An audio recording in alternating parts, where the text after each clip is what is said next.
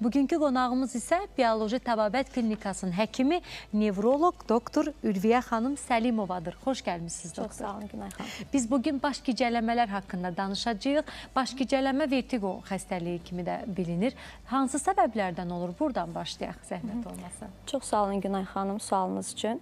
Birinci onu demək istəyirəm ki, baş gicəllənmə, baş ağrılarından sonra xəstələri həkimə gətirən səbəblər arasında ikinci yerdədir. Bəli. Baş gicəllənmə termini adı altında bir çox problemləri xəstələr əslində bizə izah etmək istəyirlər. Doğru. Yəni xəstələr hər narahatçılığı, ayağın altından yer qaçma hissini, gözə qaralma hissini, sanki yellənəcəkdə yellənirəm hissini Bəli. və nəhayət görmə illüziyası kimi bildiyimiz vertigo hissini, halbuki elə əsl baş gicəllənmə budur, yəni vertigo dediyimiz budur. Bunların bütün e, bu hissiyatların hamısını xəstələr e, baş gicəllənmə sözü altında Amma e, əslində belə deyil. Əslində həkimin e, belə belə necə? E, əslində Aha. həkimin e, ortalığa çıxartdığı diqqətli müayinə nəticəsində, anamnez nəticəsində bizə aydın olur ki, bunlar biraz fərqli e, nüanslardır. Yəni Aha. geniş xəstəni e, biz müayinə etdikdə, ondan geniş anamnez topladıqda bizə aydın olur ki, bunlar e, hamısı hamısı tək vertigo deyil. Xəstənin şikayətlərinin hamısı vertigo adı altında birləşmir. Bəs əsl vertigoda hansı əlamətlər olur? Məsələn, Aha, əsl necə, vertigo, nə tipli baş gicəllənmə olur xəstədə? Əsl vertigo ə, e, sırf ə, e, görmə illüziyasıdır. Aha. Xəstə bu zaman ə, e, ya özü əşyalar ətrafında fırlanır, Aha. ya da əşyaların onun ətrafında fırlandığını qeyd edir. Bax bu əsl vertigodur. Hmm. Lakin ə, ümumiyyətlə orqanizmin müvazinəti bir çox ə, mürəkkəb funksiyaların vəhdəti halında təşkil Bəli. edir. Yəni e, burada görmədən tutmuş, görmə, mərkəzi hissə, yəni bura beyincik, e, onlar arasında yollar, spinal kort, yəni onurğa beyni e, və bir də daxili qulaqda yerləşən vestibulyar aparat. Yəni bu Aha. mexanizmlərin hamısının vəhdət halında birləşməsi nəticəsində orqanizm özünü tam müvazinətdə hiss edir. Aha. Bu hissələrdən hər hansı birində olan patologiya nəticəsində, yəni pozulma nəticəsində əlbəttə ki, pasientlərdə baş gicəlmə dediyimiz və yaxud da dizziness dediyimiz Aha. hallar meydana çıxır. Hı -hı. Vertiqonun ümumiyyətlə əmələ gəlmə səbəbləri çox müxtəlifdir. Biz birinci xəstə qapıdan hətta içəri girəndə onun özün sərbəstmi gəlməyindən, Aha. yoxsa köməkləmi gəlməyindən tutmuş, onun hərəkətləri, yəni xəstə əslində qapıdan içəri girirsə, baş gicəllənərəkdən kimdənsə tuturmu? Yəni Də. yerişi sərbəstmi? Yəni burada ataksi dediyimiz nüanslara, hətta yəni xəstə qapıdan içəri girəndə belə diqqətlə onu izləyirik. Artıq həkimdə müəyyən hansı istiqamətdə gedəcək barədə müəyyən fikirlər yaranır. Aha. Vertiqonun dediyim səbəbləri müxtəlifdir müxtəlifdir. Xəstədən anamnez toplayanda biz ən çox burada rast gəldiyimiz səbəblər arterial hipotenziya, Aha. arterial hipertenziya, Təzik şəkərli diabet, bəli. Aha. Yəni bunlar terapevtik səbəbləridir. Bəli. Qalxana bənzər vəzin funksiyalarında olan pozulmalar, Aha. zob, zob xəstəlikləri, bəli, pozulmalar. Sonra burada Menier xəstəliyi, hansı ki bu periferik vertiqonu əsas biz Menier kimi görürük. Damarları, beyni qidalandıran damarların oklüziyası, yəni stenozu hmm. nəticəsində olan baş gicəlmələr, daha sonra viruslardan tutmuş, məsələn, biz burada Epstein-Barr virusunu misal çəkə bilərik, çünki virusların, bakteriyaların özü müxtəlif daxili qulaqda olan vestibulyar aparatda, labirintin özündə müəyyən iltihabi proseslər, virus mənşəli labirintitlər, vestibulyar neyronit və s. kimi proseslər gətirib çıxardır. Daha dəqiq, daha ciddi xəstəliklərdən olan beyin şişləri, damar zədələnmələri, keçib gedən beyin qan dövranı pozunluqları, burada deminizan xəstəliklərdən olan, hansı, halbuki hansı ki, e, gənc yaşda pasientlərdə daha çox rastlaşdığımız vertiqanın daha ciddi səbəblərindən olan MS, məsəl üçün, multipli skleroz, bəli, dağınıq skleroz, xəstələrində. Yəni e, nəzər salsaq görərik ki, vertigo çox müxtəlif xəstəliklərin nəticəsi kimi qarşımıza Bəli, çıxır. Əslində bir əlamət kimi çox xəstəlikdə görə çox bilərik. Çox xəstəlikdə görə. Onda Bu sizin işiniz çox çətinləşir. Çox çətindir. Bunu diferensiyasiya eləyə biləsiniz ki, hansı səbəbdən olur? Kardial mənşəli səbəblər ola bilər. Məsələn, əgər xəstədə ürək xəstəliklərində, ürək xəstəliklərində ritm pozunluqları, məsələn, pasiyentdə aritmiya varsa, bunlar mütləq nəzərə alınmalıdır. Mütləq. Çünki ritm pozunluqlarının özü baş gicəlləməyə səbəb olur. Bəli. Əgər xəstədə əlbəttə ki, kardiovaskulyar səbəblər varsa, yəni həm ürək, həm damar patologiyası varsa, digər aşağı ətrafların, periferik damarların damar xəstəlikləri varsa, bunlar hamısı diqqətə alınmalıdır. Demək ki, xəstəyə kompleks yanaşmaq kompleks lazımdır. yanaşmaq lazımdır. Yəni əsl işinin mütəxəssisi də belə olmalıdır. Mən izləyicilərimizə qonağımızı bir daha xatırladım. Dəyərli izləyicilər, bugünkü qonağımız Bioloji Təbabət Klinikasının həkimi, nevroloq doktor Ülviyə xanım Səlimova bizimlədir. Biz bugün baş gicəlləmələr haqqında danışırıq. Əgər sizin belə bir probleminiz varsa, bu xəstəlikdən əziyyət çəkirsinizsə, ə, ekranda görünən telefon nömrələri vasitəsilə doktorla əlaqə yarada bilərsiniz. Buyurun doktor, davam edək. E, yəni e, aydınlaşdırırıq ki, sırf -hı. nevroloji səbəbdən bu xəstəlik. Iki, e, yəni bizi idarə edən ki sistem var, müvazinət sistemimiz. Bəli. Bunlar özü iki e, belə deyək də qrupu e, kobud şəkildə bölsək, mərkəzi və periferik hissədən Bəli. ibarətdir. Birinci hissə e, periferik dediyimiz daxili qulaqda yerləşən kiçik bir e, müvazinət, bəli, kiçik bir müvazinət orqanı dediyimiz labirintdən ibarətdir. Forması da elə il bizi xatırlatdığı üçün bu ad ona verilib. E, müvazinət orqanı, yəni daxili qulaqda yerləşən və bir də beyincik və bunlar arasında əlaqə və beyində vestibulyar nüvələr dediyimiz mərkəzi hissə, spinal kord, yəni onurğa beyni və görmə. Yəni çox sadələşmiş şəkildə desək, bizim müvazinətimizi 3 əsas görmə, ə, əzələnin tonusu və bir də ə, bu bu əlaqələr arasında, yəni bu saydığım orqanlar arasındakı əlaqə. Yəni bu üçündən birində pozulma olsa, artıq bizim də dəngə ə, müvazinət pozulduğumuz meydana çıxacaq. Yəni artıq xəstədə baş gicəlmə şikayəti meydana çıxacaq. Ə, Burada yaş faktoru önəmlidirmi, doktor? Yəni misal üçün daha çox hansı yaşlarda bu problem daha çox Ümumiyyətlə, əgər bağlıdır? Gənc yaşda pasiyent müraciət edirsə, biz mütləq dərəcədə birinci beyni, yəni həyatı təhdid edən, yəni həyatı Bəli. göstərişləri birinci, yəni həyatı risk altına atan amilləri birinci kənarlaşdırmalıyıq mütləq. Bəli. Çünki düzdür, bunlar e, simptom cəhətcə bir-birinə çox oxşuyur. Yəni e, pozisiyanı dəyişməklə bağlı olan yaranan bir vertigo var. Bütün həkimlərimizə bu tanışdır ki, BPPV dediyimiz Aha. benign paroksizmal e, pozisional vertigo ki deyirik. Bəli, Bunun bəli. özü də məsələn yasaqdan duranda Bəli, və yaxud da ani hərəkətlər zamanı. Ani hərəkətlər zamanı baş verən vertiqodur ki, Qorxulu deyil. Qorxulu deyil əslində, Aha. amma MS xəstələrinin də e, şikayət elədiyi vertigo tipi bununla çox oxşuyur. Çünki hər ikisinin arasında böyük bənzərlik var. E, Daha diqqətli olmaq lazımdır. Çünki MS xəstələrində başqa nevroloji bulğular, nevroloji əlamətlər olur. Hansı ki biz periferik vertiqonun e, özünə xas baş gicəlmə, baş gicəlmə ilə yanaşı qusma, e, məsəl üçün ürək bulanma, e, gözlərdə o nistagm dediyimiz Bəli, gözlərin xarakterik hərəkəti e, bu xəstələr üçün e, daha e, e, yəni Xarakterikdir. xarakterikdir. Aha. Lakin MS-in özünün diqqətli müayinə etdikdə e, digər əlamətlər olur yanaşı. Gözün ikiləşməsindən tutmuş biz onu göz həkimlərin e, gözün Bəli. e, həkimlərinin müayinəsi ilə aydınlaşdırırıq.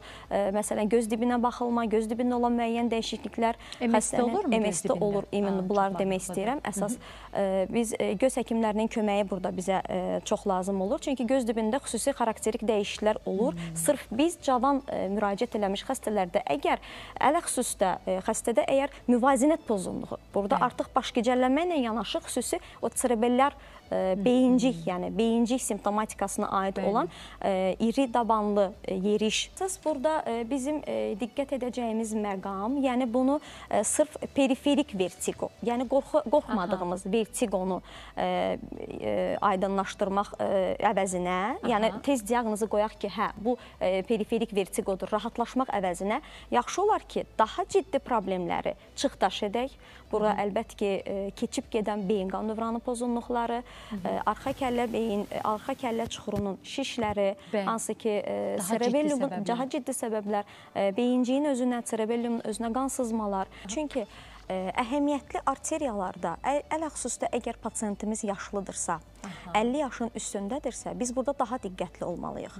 Düzdür, pasiyent əgər yaşlıdırsa, bu demək deyil ki, biz mütləq burada orqanika, yəni ki, beyinlə əlaqəsini axtarmalıyıq. Çox vaxt xəstələr özləri deyir, yaşlıdır, sklerozlaşma gedir. Bəli. Bax, sklerozlaşma. edirlər. Çox vaxt elə 50 yaş üzərində e, həkimə müraciət edən pasiyentlərin çoxunda, yəni vertigo, Aha. baş gicəlmə şikayəti ilə olan pasiyentlərin çoxunda vertebrobazilər yetməzlik dediyimiz, yəni beyin qan dövranının, yəni daha sadə desək, beyin qan dövranının e, pozulması e, və yaxud da keçib gedən beyin qan dövranı pozğunluğu e, birinci yerdə durur. Əgər pasiyentimiz 50 yaş üzərindədirsə, e, əgər pasiyentdə e, təzyiq, şəkərli diabet Aha. varsa, e, təbii ki, laborator müayinələr nəticəsində baxırıq. Əgər pasiyentdə aterosklerotik fonda e, narahatçılıqlar varsa, yəni e, verdiyimiz analizlərdə aterosklerozu təsdiqləyən xolesterin mübadiləsinin pozulduğunu açıq-aşkar görürüksə, Doppler müayinəsində, yəni Doppler qanın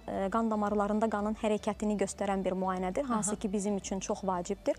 Baş gicəllənmələrdə əgər şübhələniriksə ki, burada onurğa arteriyalarında, karotit arteriya, yəni duxa, yuxu arteriyalarında hər hansı bir oklüziyamı, hər hansı bir daralma varsa, bu zaman Doppler bizə təbii ki, informasiya verir. Yəni biz müayinəmizi artıq bunun üzərindən edirik xəstəyə Bəli. və nəticəyə gəlməkdə bizə çox köməklik eləyir. E, damarlarından əlavə e, miqren, bildiyimiz miqrenlər də vertiqonun mərkəzi səbəbləri arasındadır. Aha, migren bəzən hər belə deyək 3 adamdan ikisi deyir ki, mənim migrenim var. Doğrudan da mı bu qədər çoxdur, yoxsa insanlar hər baş ağrısını migrenlə səhv salırlar? Eyni zamanda migrende də baş gicəllənmə ola bilər Bəli, deyirsiniz. migrenlərdə Aha. baş gicəllənmənin xüsusi e, bəzən aura şəklində olur. Aha, migren yəni ağrıları xəstələr tutmamışdan qabaq, məsələn, pasiyentdən soruşuruq, deyir doktor, mən başım ağrımamışdan qabaq mənə baş gicəllənmə olur. Hı -hı. Bir neçə saniyəni e, əhatə edən bir baş gicəllmə olur. Baş gicəllmə bu e, baş gicəllmə tutmalarından sonra artıq xəstədə baş ağrıları başlayır. Lakin bəzən çox pis müalicəyə tabe olan bazilyar miqren dediyimizdə e, baş gicəlmənin mərkəzi səbəbləri arasındadır. Aha. Bazilyar miqrendə xüsusi özünə ə, məxsus əlamətlərdə, məsələn, ənsə nahiyəsində xəstələrdə möhkəm ağrılar olur. Aha. Yəni biz xəstədə baş gicəlmə ilə yanaşı digər əlamətləri də görürüksə, Aha. artıq biz burada e, yəni qusma, buna qusma və e, qulaqlarda olan cingildəmə hissi, e, tinnitus, yəni qulaqlarda doluluq hissi aid deyil. Nəyə görə? Çünki bunlar zaten periferik vertiqoda da bizim Bəli. qarşımıza çıxan əlamətlərdir. Aha. Əlamətlər həm periferik mənşəli proseslər, problemlərdə, həm mərkəzi mənşəli Spesifik problemlərdə deyil, spesifik deyil. Aha. Sadəcə olaraq biz digər nevroloji əlamətləri inkar etdikdən sonra, yəni biz diaqnozumuzu artıq e, periferik periferik yönə yönəldirik Bəli. və rahat oluruq ki, periferik vertiqolar həyat üçün təhlükəli deyil. Hə, Düzdür, çox xəstə çox təşvişlə e, həkimə başvurur. Çünki doğrudan da çox ciddi baş gicəlmə onu narahat edir. Bəli. E, bəzən xəstələrdə panik atakla, hiperventilyasiya Aha. sindromu ilə, yəni psixoloji səbəblərdən də vertiqolar e, qarşımıza çıxır. Belə xəstələrimiz Bəli. də olur. Xəstə elə bilir bəlkə bu dəqiqə o hər hansı bir beyin qanaması keçirir, Bəli. hər hansı bir ciddi beyin problemi var, bu cürə ciddi bir vertiqonun onu narahat et, etdiyinə görə. Aha. Bir də bir şey qeyd etmək istəyirəm. Bazilyar miqrendən danışırdıq. Bazilyar miqrendə məsələn xəstədə ənsə nahiyəsində ağrılarla yanaşı digər nevroloji əlamətlər də olur. Hansı Aha. ki, burada iki görmə ola bilər. Digər baş gicəlmənin burada məsələn müddəti xarakterikdir. Deyək Aha. ki, baş gicəlmə burada 5 saniyə ilə 60 saniyə arasında olur. Hı -hı. Yəni tez keçən. Lakin bəzən vertiqonun özünün zamanlaması da bizi müəyyən diferensiasiyalar eləməyə məcbur eləyir. Aha. Çünki e, məsələn belə deyək, periferik vertiqolar ki dediyimiz e, pozisionla, yəni başın e, digər hərəkəti tərəfə ilə. hərəkəti ilə, yanlara, yuxarıya, aşağı hərəkəti ilə və yaxud da əgər xəstə bizə deyir ki, doktor, mən e, oturanda, duranda, e, öz vəziyyətimi dəyişdikdə, yerimə uzandıqda və yaxud da yerimdə, yəni yataqda döndükdə mənim e, baş gicəllənməm başlayırsa Hı -hı. və bu, bu baş gicəllmə bir neçə saniyəni əhatə eləyirsə, böyük ehtimalla ehtimalla biz fikirləşirik ki, bu e, pozisional vertiqodur. Yəni BPPV dediyimiz xoş xəstəli baş gicəlmədir. Lakin burada mütləq e, həmişə nevroloqun nəzərində keçib gedən beyin qan dövranı pozunluqları, yəni keçib gedən o deməkdir ki, əmələ gələn əlamətlər daimi xarakterli olmur. Aha. Bir neçə saat və yaxud da e, ən uzağı 24 saat ərzində artıq əlamətlər keçmiş olur. Aha. Yəni biz bunu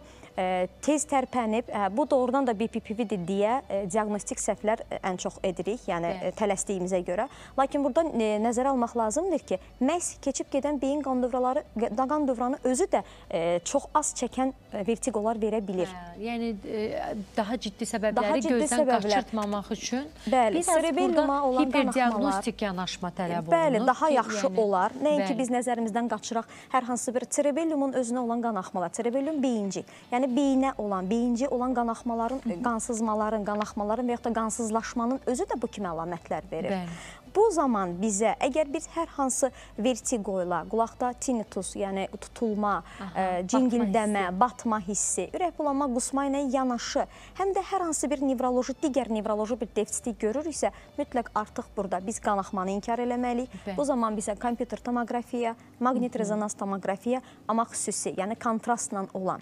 Çünki bəzən qanaxma, qanamadan başqa, ə, dediyim kimi beyin şişlərinin özü də hansı ki, arxa kəllə çuxurunda yerləşən beyinci, beyinci beyin beyin kötüyündə, beyin sapında, beyin kötüyündə olan, dördtəpəli cisimdə olan ə, körpü beyincik bucağında olan şişlər. Ə, yəni bunları nəzərdən qaçırmamaq üçün, yəni əgər şübhələniriksə, əlbəttə ki, xəstəni MRT müayinəsinə Bə. və burada çox yaxşı olar ki, kontrastlı MR müayinə, MRT müayinəsi yəni, olsun. Yəni adi MRT yox, kontrastlı MRT göstərməsi daha dəqiq daha dəqiq qoya bilərik. Bəli. Dəyərli izləyicilərimizə mən qonağımızı xatırladım.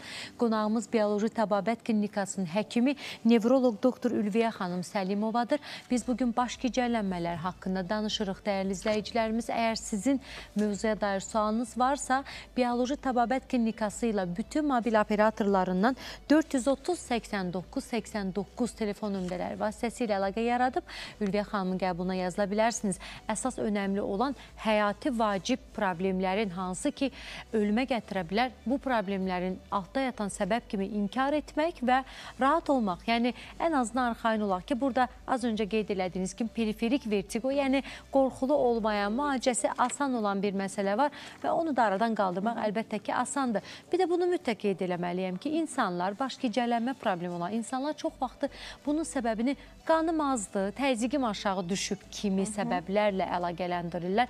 Bəzən də ə, e, məişət səbəblərlə, bugün çox işləmişdim, çox yorulmuşdum, çox televizora baxmışdım və ya az yatmışdım kimi səbəblərlə əlaqələndirib biraz müayinəni, belə deyək, təxirə salırlar.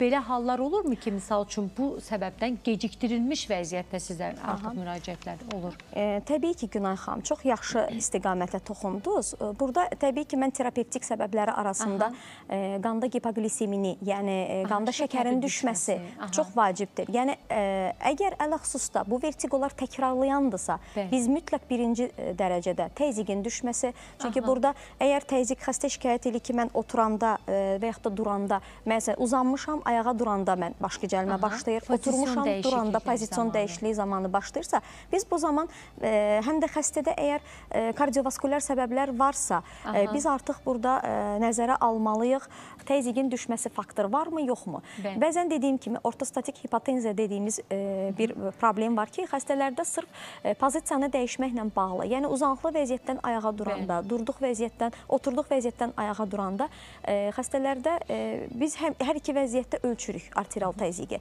və görürük ki, bunlar arasında müəyyən fərq olur. Bəli. Bu fərqin olması artıq bizi yönəldir kardioloji, bəli, səbəblərə. Bu çox önəmlidir və ona görə Bir də Günay xanım unutmadan bəzi dərmanların qəbulu da e, baş gicəlmə verə bilər. Buna da çox diqqətli. Yan təsiri kimi də yan bilər. Yan təsiri kimi. Ona görə təzyiq dərmanları. Xəstə ilə söhbət mütləq. eləmək çox önəmlidir. Həqiqətən də bəzən bizdə qapıda gözləyən pasiyentlər narazılıq eləyir ki, nə çox qaldınız, nə çox çəkdi müayinə, amma əlbəttə ki, bizim bir diaqnostikaya gəlməyimiz üçün xəstə ilə söhbət, dəqiq anamnez çox önəmli rol oynayır. Çünki bir çox epilepsiya əleyhinə dərmanlar, bəli, bəli. Ə, hamısı bütün antibiotiklər, təzyiq dərmanların yəni, çox əlavə təsirləri. Dərmandan tutmuş hər şey araşdırılmalıdır. Biz çox maraqlı söhbət gedir və söhbətin davamını mütləq reklamlardan sonra davam edəcək. Mən izləyicilərimizə qonağımızı xatırladım. Qonağımız Bioloji Tababət Klinikasının həkimi, nevroloq doktor Ülviyə xanım Səlimova bugün bizimlədir. Biz bugün baş gicəllənmələrdən danışırıq dəyərli izləyicilərimiz. Əgər sizin belə bir narahatlığınız varsa, doktorla bütün mobil operatorlardan 430 89 89 Bioloji Tababət Klinikasının əlaqə nömrəsidir. Klinika ilə əlaqə bugün baş gicəllənmələrdən danışırıq və biz həmçinin reklamlardan öncə elan etdiyim Masallıya Bioloji Təbabət Klinikası, həmçinin siz də xəstə qəbulu üçün gedirmişsiniz. Bu çox böyük bir həqiqətən avantajdır orada yaşayan və həmçinin qonşu rayonlarda yaşayan insanlar üçün ki, sizin qəbulunuza ora yazıla bilərlər. Və biz baş gicəllənmələrin ə, digər səbəblərini az öncə vurğuladıq. Orada təzyiq dedik, qan şəkərinin düşməsi dedik ki, yəni xəstəyə yanaşmada diqqətlə anamnez, həmçinin bəzi dərman preparatlarının qəbulu zamanı əlavə təsir kimi görülə bilər. Bəzi viruslar, Epstein-Barr məsələn, bəli, bəli. çünki e, az öncə də qeyd eləmişdim, bir bəli, çox problemlər çox yaradır. Çox səbəblərdir ki, bunu səbəblərdir. qaçırtmaq olmaz əlbəttə. Dağınıq sklerozu qeyd elədik, ciddi Aha. səbəblər arasında beyin şişlərindən danışdıq, e, arteriyaların sıxılmasından, bəli. yəni beyin qan növran pozğunluqlarından. Bunlar beyinlə bağlı olan, yəni mərkəzi səbəblərdir. Aha. Təbii ki, biz pasienti müayinə edəndə az öncə də dediyim kimi xüsusi əlamətlər var ki, onlara diqqət etməklə ə, ayıra bilirik. Bu ə, şübhələniriksə mərkəzi səbəblərdən xəstəni mütləq ə, kompüter tomoqrafiya müayinəsindən, Aha. MRT müayinəsindən, lazımsa kontrastlı Kontrastlı. MRT müayinəsindən keçiririk. Ə, lakin Biraz bu bəzən... müayinələrdən insanlar qorxur, şüalıdır deyir. Yəni MRT-nin, kompüter tomoqrafiyanın hərəsinin özünə Öz dair göstərişləri, Bəli, var göstərişləri və var. ehtiyac halında bu müayinələrdən qorxmaq olmaz. Hı -hı. Əlbəttə ki, biz həyati vacib orqanları qoruma adına bu müayinələr bu vacibdirsə, həkimə güvənərək onları eləməkdən qaçmaq lazım deyil. Günaham, təbii ki, biz xəstəni dəyərləndirdikdən sonra buna qərar veririk. Bəli, bəli. Məsələn, xəstə gəlib başqa gəlməsi var, özümüzü sığortalamaq üçün xəstəni əlavə xərclərə ə, sövq edək, yəni onu əlavədən göndərək kompüter tomoqrafiyasına və yaxud da MRT-sindən bunlar lazım deyil. deyil biz xəstəni anamnez toplayırıq, onu nevroloji müayinə edirik. Burada müxtəlif testlərdən, müxtəlif müayinə üsullarından istifadə olunur. Müayinə üsulları dedikdə, yəni sırf xəstənin obyektiv ə, həkimlə obyektiv müayinəsi Aha. nəzərdə tutulur. Ondan Bəli. sonra əgər qərarlaşdırırıqsa ki, burada daha ciddi problemə şübhə var Aha. və bu şübhədən qurtarmaq üçün onda biz e, istifadə edirik. Yəni başqa cəllənmələrin ən çox səbəbi periferik səbəblər olduğu üçün e, biz hər xəstəyə e, kompüterdən keçməlisən və yaxud da bəli, maqnit rezonans olunmalısan deyə bir məsləhətimiz olmur.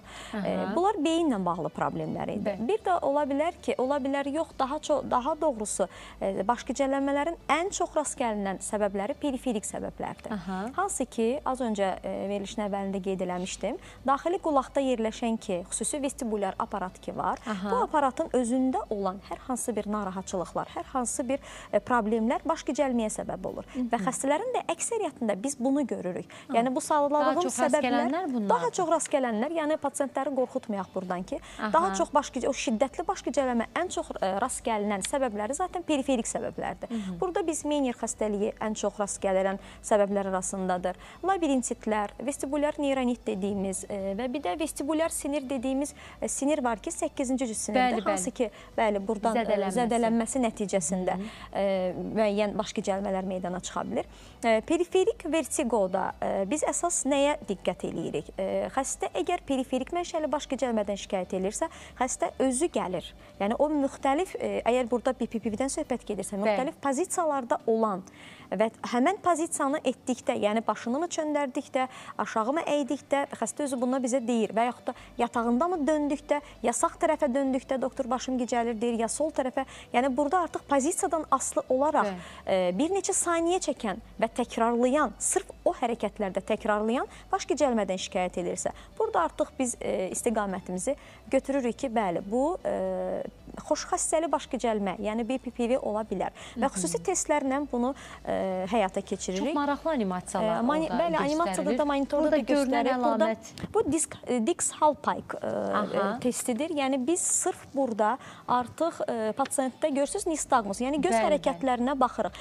Əgər e, xəstədə vestibulyar bir problem yoxdursa, biz xəstəni bu pozaya gətirdiyimizdə, bu vəziyyətə bu bu cürə nistagmu biz görməməliyik. Yəni Aha. sağlam adamda bu nistagmus olmur. Görürsüz tarizional nistagmus göz hərəkətlə bu horizontal nistagmusdur e, və bir də ki vertikal nistagmus. Düzdür, santral, yəni beyin mənşəli e, nistagmuslarda çox vaxt vertikal nistagmusu biz görürük. görürük. Bu Dix Hallpike testidir. Xəstənin başını ə, e, zədə tərəfə, hansı ki, Aha. həmən tərəfə şikayət eləyir ki, xəstə sol tərəfə dönəndəmi, baxandamı ə, başım, başım gicəlir. O tərəfə 30-40 dərəcə çöndəririk. Xəstəyə bu pozanı veririk və ə, e, bir də ə, bax bu pozanı verdikdə belə artıq bizə məlum olur ki, burada biz mərkəzi ə, baş gicəlmədənmi şübhələnək yoxsa periferik. Hı -hı. Çünki əgər ə, nistagmus ə, həmən anda meydana çıxırsa, Aha. baş gicəlmə həmən an, yəni xəstəni bu pozaya gətirən kimi meydana çıxırsa, Aha. biz artıq burada mərkəzi zədələnmənin olduğunu düşünürük, ondan şübhələnirik. Burada çünki nistagmusda biraz gecikmə müşahidə oluna bilər. Əgər burada vestibulyar pozğunluqdursa, periferik pozğunluqdursa, nistagmus gec meydana çıxır. Aha. E, və bu Dix-Hallpike testi dediyim kimi bir e, müddətdən sonra e, xəstəni e, qaldırdıqdan sonra nistagmus uzananda zədə tərəfə vurur. Qalxdıqdan sonra isə əksinə, Əks e, bəli, zədənin əksinə. Çox maraqlı testdir və bu testin test vasitəsilə heç adi bir bir test vasitəsilə kompüter tomografiyasız Bəli, bəli. biz xəstəyə diaqnoz qoya bilirik ki, yəni daha doğrusu e, istiqamətimizi müəyyənləşdiririk ki, biz burada mərkəzi səbəbləri mi araşdırmalıyıq, yoxsa periferik, Periferik səbəbi. səbəbləri. Əgər xəstəmizdə heç bir digər nevroloji bulğu yoxdursa, e, böyük ehtimalla bu bizdə pozisional vertiqonu təsdiqləyən bir e, sadə bir testdir. Sonra baş e, sallama testi var, Halmagi testi dediyimiz e, baş çevirmə testi. Sadə bir testdir, xəstədən təklif eləyirik, həkimin burnunun ucuna baxır Aha. və həkim müəyyən istiqamətə xəstəni bir dəfə sağa, bir dəfə sola başını çevirir və xəstədən xahiş olunur ki, yalnız baxdığı bir burnun ucuna baxsın. Bəli. Bu test məsəl üçün periferiklə mərkəzini e, ayırt etməyə çox kömək eləyir. Yəni ə, belə deyək də, kompüter tomoqrafiya və ya MRT müayinəsinə ehtiyacı varmı, yoxmu? Qısaca yəni bu testlər Bu vasitəsilə testlərlə biz bilirik ki, mərkəzidirsə Bəli. o zaman göndəririk Bəli, zaten bəli. e, bu digər müayinələrə. Bu oldu Dix-Hallpike testi. E, Bu sadə bir, yəni mərkəzi BPV ilə e, periferik BPV-nin sadə bir diaqnostikası olduğu kimi sadə bir manevrası ilə də müalicəsi var.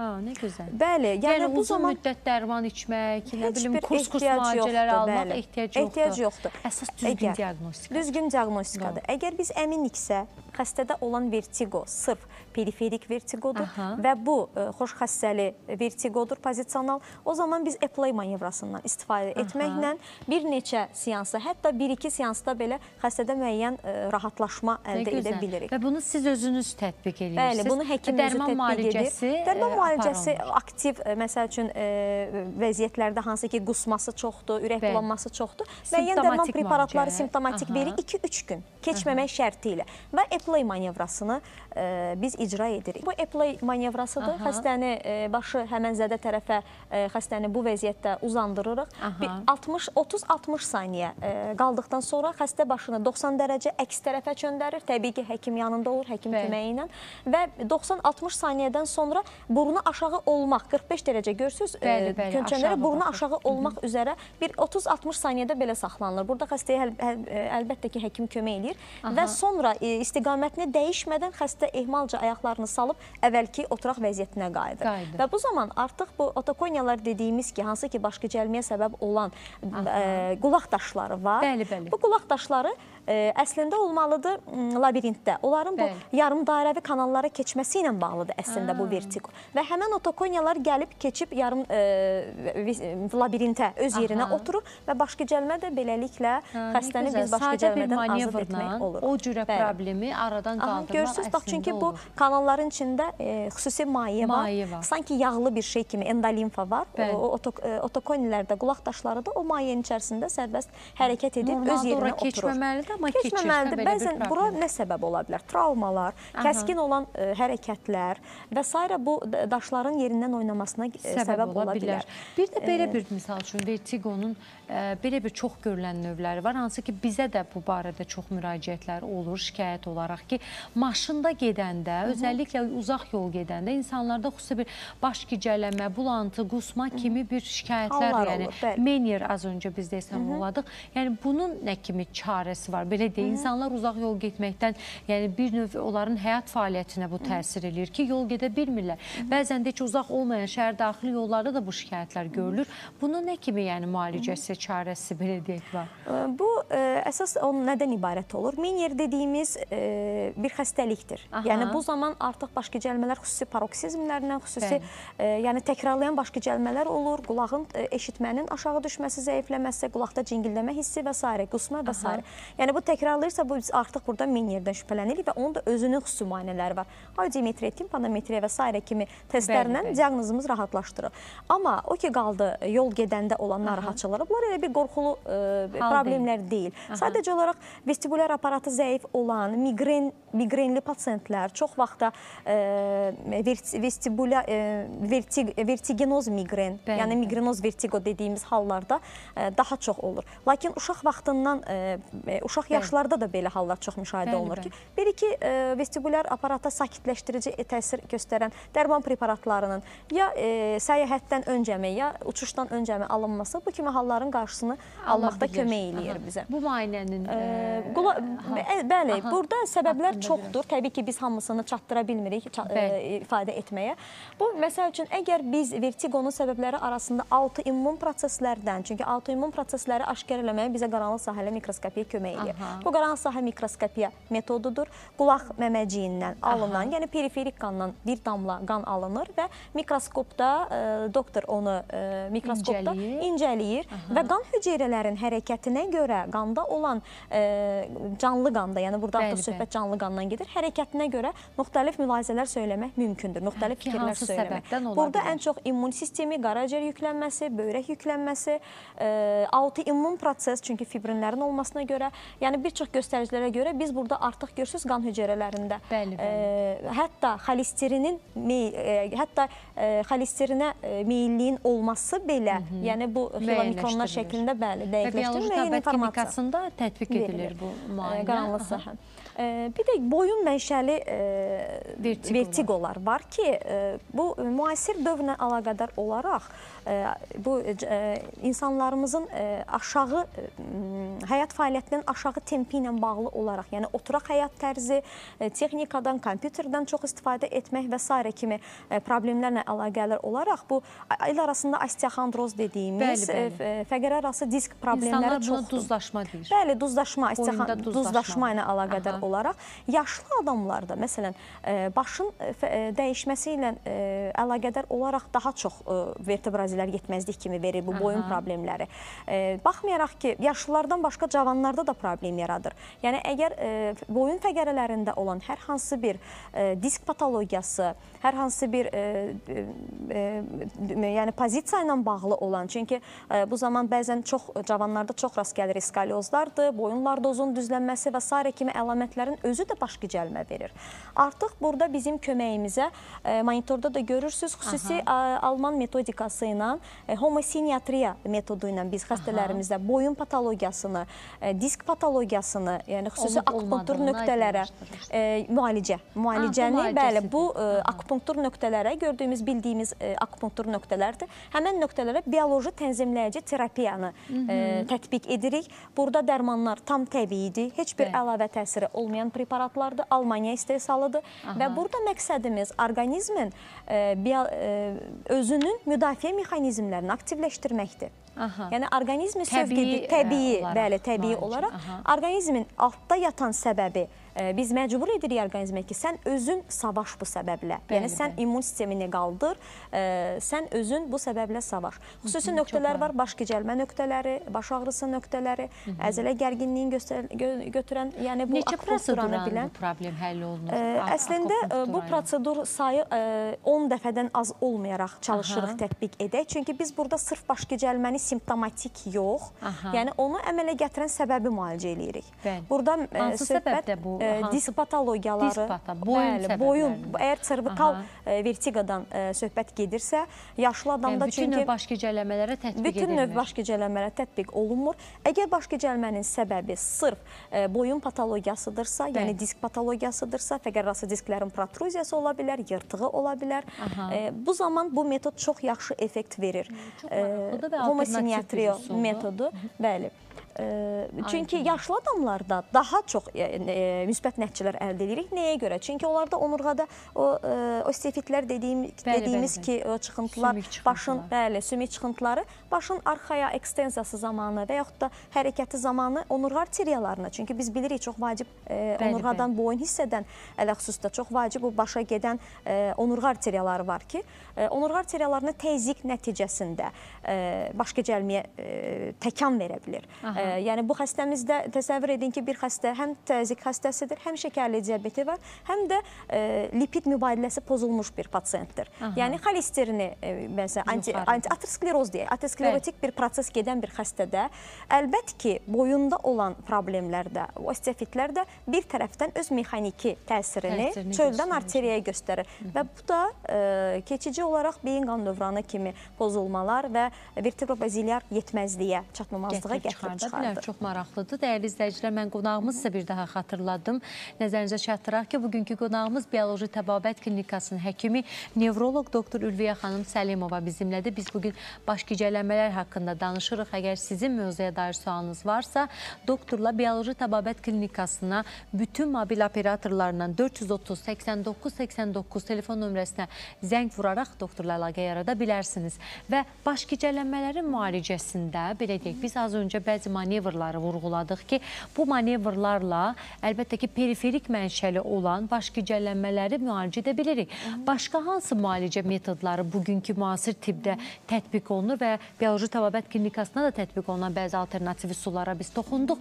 Başqa hansı müasir müalicə metodlarını, yəni örnək göstərə bilərsiniz ki, biz müalicədə istifadə edə bilərik bugün? Burada əlbəttə ki, əgər bizim vestibulyar ə, pozğunluqlar üstünlük təşkil edirsə, vestibulyar sistemi sakitləşdirən dərman müalicələri, dərman preparatları istifadə olunur.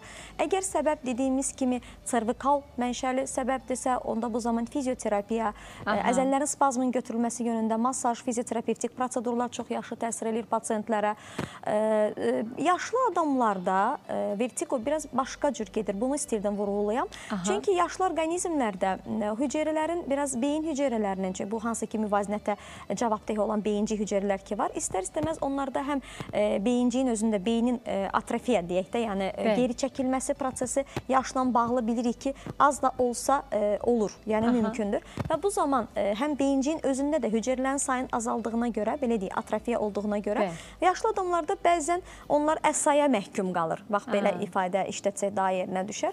Çünki e, hüceyrələrin sayı, yəni atrofinin qarşısını biz ala bilmirik. Amma yəni yaşlı adamlarda e, müxtəlif testlər verməklə, e, egzersiz deyirik bunlara, Aha, e, yəni hərəkətlər. müxtəlif hərəkətlər, bəli, Aha. hərəkətlər verməklə e, sanki e, e, bu pasientləri baş gicəlməyə öyrəşdiririk. Bura Aha. məsələn göz hərəkətləri aid ola bilər. Gözlərin sadə yuxarı, aşağı, yanlara, başın aşağı, yuxarı, yanlara, çiyinin hərəkəti, ə, oturduq yerdə sağa, sola fırlanma, topun yuxarıda bir əldən, balaca bir topun bir əldən başqa bir ələ ötürülməsi zamanı gözlə bunu izləməyi tapşırmaqla Bəli. pasientlərə bunları önəririk. Adi, ə, məsəl üçün baş gicəlməsindən çox şikayət edən yaşlı pasientlərimizə daha çox ə, bu hərəkətləri tövsiyə edirik. Ayağı ilə durduq yerdə 8 yazmaqmı və yaxud da pilləkənləri düşüb qalxmaqmı və yaxud da pilləkən düşüb qalmaq çətindirsə, ə, evdə qutuları qoyub, məsəl üçün onun üzərində müəyyən hərəkətləri etməkmi? Yəni bu kimi vestibulyar sistemi e, və tək vestibulyar sistem deyil, vestibulyar sistem periferiksə, yəni beyinlə bütün bu yolları, yəni bu ki e, bizim müvazinətimizi tən, tənzimləyən ki yollar var, bunların yəni tə, e, vəhdətini təmin etmək orqanizmi bu problemlərə öyrəşdirmək. Aha. Yəni bir növ məşq elətdirmək. Məşq yəni, elətdirmək. Ə, davamlılığı artırmaq. Davamlılığı bu da çox önəmli bir bəli. üsuldur. Yəni sadəcə dərman terapiyası yox, Deyil. eyni zamanda təbii ə, bioloji ə, faktorları da yəni dövrəyə qoşmaq Hı -hı. əlbəttə ki, hər zaman faydalı olur. Burada əlbəttə ki, əgər bizim pasiyentimiz təzyiq xəstəsisə, təzyiqi normal saxlamaq, şəkəri normal saxlamaq, Bəli. şəkəri varsa, ə, antihiperlipidemik terapiya dediyimiz, yəni bu ə, xolesterin əleyhinə belə deyək, sayda tamaşaçılarımız aydın olsun. Yəni qanın lipid spektrına nəzarət etməklə aterosklerozun, yəni damar daralmasının qarşısını almaq, sonra bioloji təbiət klinikasında azonoterapiya, oksivena terapiya, Aha. yəni ki, bunlar qan e, durulducular kimi təsir göstərir. Azonun müxtəlif dozaları qan durulducu e, effekt verir. Azon e, oksigen terapiya var, hansı ki, e, damar daxili oksigenin oksigenin yeridilməsidir. Bu zaman e, məsəl üçün e, xəstəyə də hipoksiya vəziyyətləri varsa, onlar aradan götürülür və s. kimi digər e, yəni e, prosedurlarla bu problemin öhdəsindən gəlmək mümkündür. Çox gözəl. Mən sizə çox təşəkkür edirəm doktor Buyurun. gəldiyiniz üçün, bu maraqlı bir mövzunu bizə ə, dəqiqliklə, yəni aydınlatdığınız üçün minnətdaram. Ümid edirəm ki, növbəti proqramlarda da biz sizinlə görüşüb nevrologiyanın çox maraqlı bir sahələrinə birlikdə yenə də toxunacağıq. Yeni videolarımızı izləmək istəyirsinizsə kanalımıza abunə olub bildiriş bölməsini aktivləşdirin.